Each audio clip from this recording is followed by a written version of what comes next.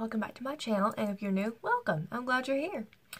Okay so this one might be a short video. I'm not sure what I said in my last video. Well I'm not sure if it's gonna be my last video but um uh the uh, Ulta 21 Days of Beauty the first box I got in with this uh, Benefit 24 hour brow setter and I said I wanted to do a first impressions on this, so even though it's probably going to be a short video, I still wanted to do it because I told y'all I would. So, yeah. And if you couldn't tell, I've already done my makeup and I did my brows. And for the sake of this video, uh, of course, and for the sake of this video, I of course used basically all Benefit brow products. I use the Benefit Browvo Conditioning Primer. I love this stuff. I use it every day anyways. Doesn't matter what brow product I'm using. Um, and then I use the sample. I have the Goof Proof Brow Pencil, also by Benefit. And I... I think I said this in one of my last videos. I'm not sure which one it was, but I just uploaded it last night, so you'll be seeing it soon.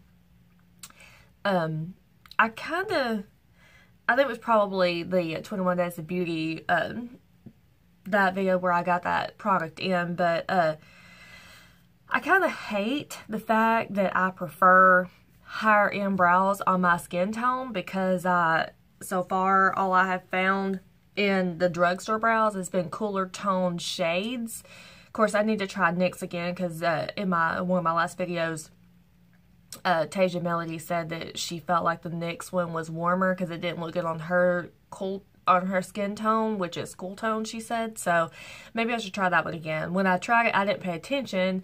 I remember liking it, I think, so maybe I should try it again. But yeah, I don't really like cool tone eyebrows on me. It makes me look too bold or washes me. I don't know what it is, but because normally I've been using this L'Oreal and I like the way it does. I like the formula. I do not like the fact that it looks almost black on me. I don't know. Whatever. I'm just trying to finish it now. But, and so I can try others.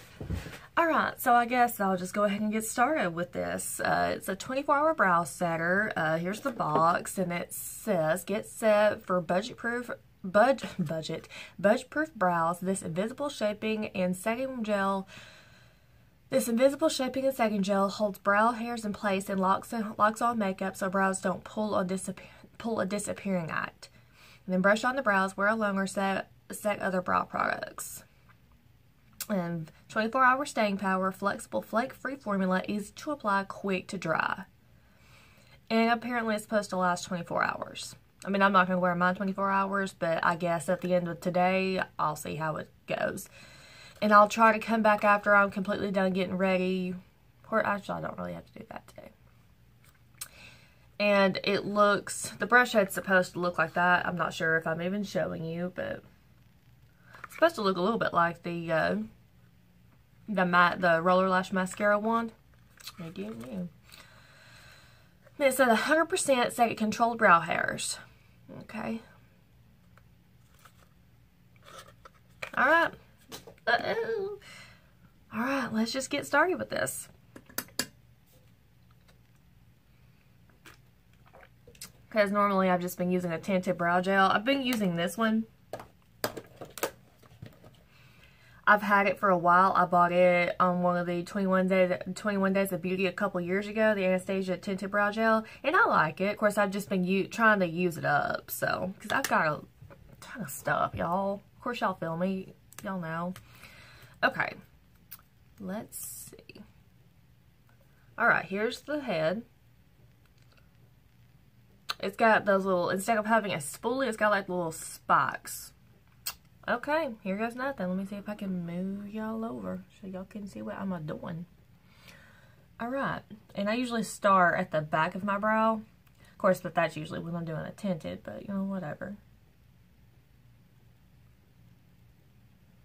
Brush head grabs every little hair. Wow.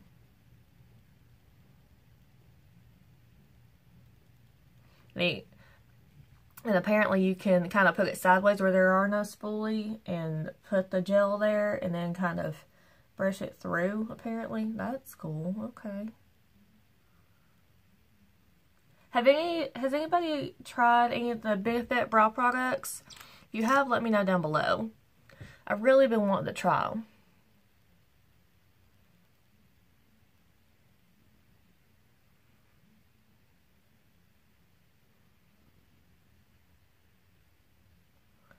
okay.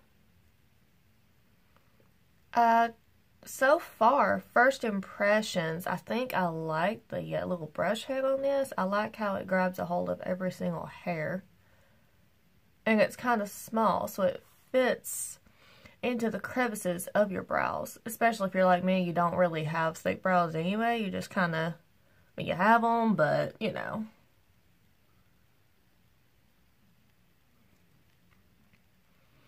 Hmm, okay. What do we think? I think it did pretty good.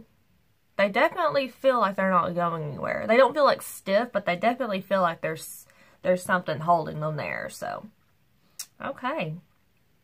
That's kind of awesome. And like I said, I did use the Benefit Goof Proof Brow Pencil, so I've really been liking it. I put it down for a couple days because I was trying to, I'm trying to use my L'Oreal uh, Brow Stylist Definer. Is that what this is called? Brow Stylist Shape and Fill. So, even though I like that one, it's just cooler toned, and this is a warmer tone, so it looks more natural. I mean, y'all know, I'll dig, I dig a uh, more natural brow. Of course, more power to you if you like a bolder brow. It just doesn't look good on me. I guess because I don't really wear bold looks that much. I, I don't know. Or maybe it's because my face is smaller. I don't know what it is. I just don't prefer it. So, okay. Well, I, like I said, I know this was going to be a short-lived video, but I just wanted to try that on on camera like I said I would the other day when I filmed that video. So, yeah.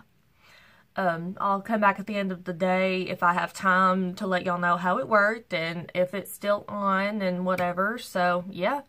Um, yeah, so I guess I'm going to go finish getting ready. And I guess I will talk to you guys later. And if I don't get to come back due to, for any reason, then y'all know I will put it at the in the description box or somewhere where how I feel about it and how it did after several hours. I won't wear it for probably 24 hours, but I'll definitely test it out for a good day at least. So, all right, I guess I'll talk to you guys in a little bit.